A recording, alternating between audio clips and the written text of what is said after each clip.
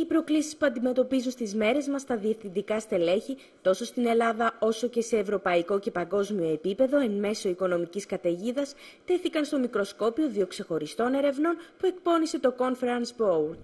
Τα ευρήματα της μελέτης που παρουσιάστηκαν σε ημερίδα που διοργάνωσε ο τομέας ηγεσίας της Ελληνικής Εταιρείας Διοίκησης Επιχειρήσεων αποτυπώνουν τις 10 βασικότερες προκλήσεις που αντιμετωπίζουν σήμερα οι Έλληνες και οι ξένοι CEOs, ενώ παράλληλα καταδεικνύουν τις στρατηγικές και τα αντανακλαστικά που καλούνται να αναπτύξουν προκειμένου να ανταποκριθούν στις απαιτήσεις της εποχής.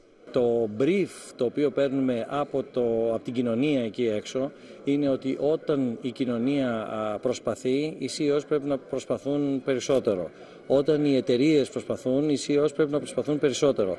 Αλλά το, η τρίτη διάσταση που είναι σημαντικότερη όλων είναι ότι όταν οι CEOs προσπαθούν, τότε οι φορείς όπως είναι η ΕΔΕ ε, ή οι διεθνείς φορείς οι οποίοι συνεργάζονται με την ΕΔΕ πρέπει να προσπαθούν και αυτοί περισσότερο για να μπορούν να σαπορτάρουν τους ανθρώπους αυτούς οι οποίοι στην ουσία έχουν πάρει τη χώρα στην πλάτη τους. Οι πέντε κορυφαίες προκλήσεις που επελέγησαν από τους επικεφαλείς των επιχειρήσεων που έλαβαν μέρος στη μεγαλύτερη παγκόσμια έρευνα ήταν το ανθρώπινο κεφάλαιο, η σχέση με τους πελάτες, η καινοτομία, η επιχειρησιακή αριστεία και η φήμη. Επειδή εμείς οι Έλληνες είμαστε δεδομένοι σε γρήγορα αντανακλαστικά, γιατί ξέρετε ότι τίποτα δεν είναι σταθερό.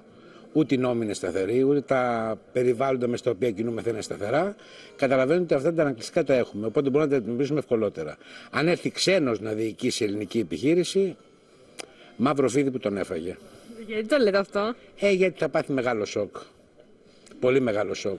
Ξέρετε, να ξυπνάς το πρωί και να έχεις μπροστά σου ένα καινούριο περιβάλλον από πλευράς νόμων.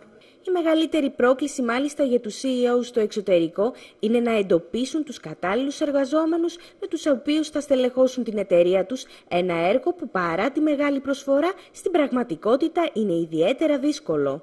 Η οικονομική κρίση απέδειξε δυστυχώς ότι οι εταιρείες που έβλεπαν το ανθρώπινο δυναμικό ως πραγματικό ανθρώπινο κεφάλαιο και περιουσία τους δεν ήταν πάρα πολλές.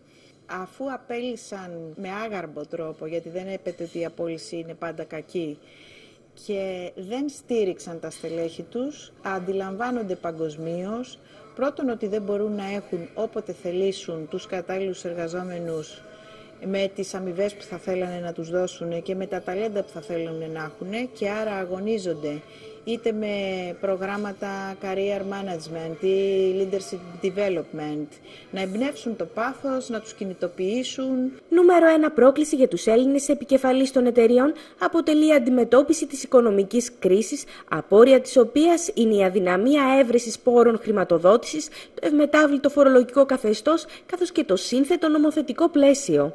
Probably the most interesting aspect of today's discussion is that uh, there is such a high confidence amongst the business leader here in Greece, I mean, to turn the things better. And uh, I think they're making great strides. Uh, they do customer relationships. There's much focus on that. But most importantly, I think they have now uh, detected that the human capital factor is so important, and it's about engaging and uh, have an engaged workforce and have an entrepreneurial workforce. And I think that's probably the right focus.